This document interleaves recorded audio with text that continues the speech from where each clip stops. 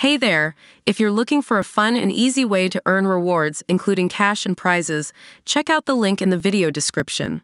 Welcome to Reality Rundown today. We're diving deep into the explosive drama between RHOBH stars Kyle Richards and Lisa Vanderpump. Stay tuned as we uncover the latest scandal rocking the real housewives of Beverly Hills. Kyle Richards reacted to Lisa Vanderpump's recent interview about knowing a former castmate's partner was cheating. Kyle is convinced Lisa was talking about Kyle's situation with estranged husband Mauricio Umansky, and she hinted that she's a happy to talk about Lisa's side of the street.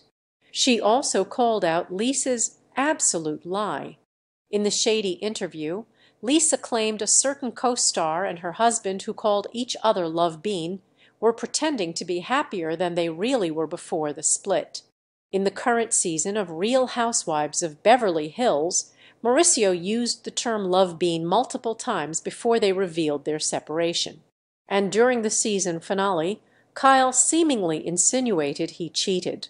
On an Amazon Live, a fan asked Kyle to respond to Lisa's interview about the cheating.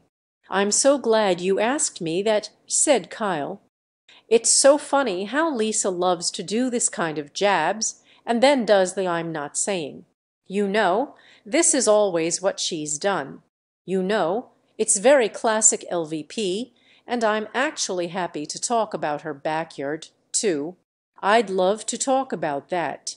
So if she wants to talk like that, then I'd be happy to get into it with her about her side of the street, she went on, but I don't think she wants that, and we're here to talk about fun stuff, so if she'd like to, I'm happy to talk about some things about her too.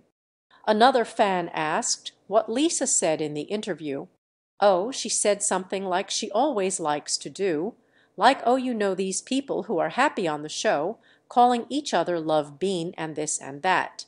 Oh, please, nobody is that happy, then you find out they're getting separated, recalled Kyle. Like she's trying to imply that when I was showing myself being happy, that I actually wasn't, which is an absolute lie, and she knows that. She just does that to be really mean.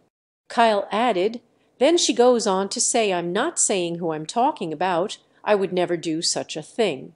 This is always what she does. This is why all of the women, and I say all, feel the way they feel and felt. Of course, that's not the popular thing to say because if you don't know her, it's all so fabulous.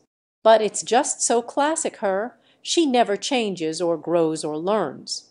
She can, like I said, worry about her backyard, and I'm happy to talk about it if I bump into her. And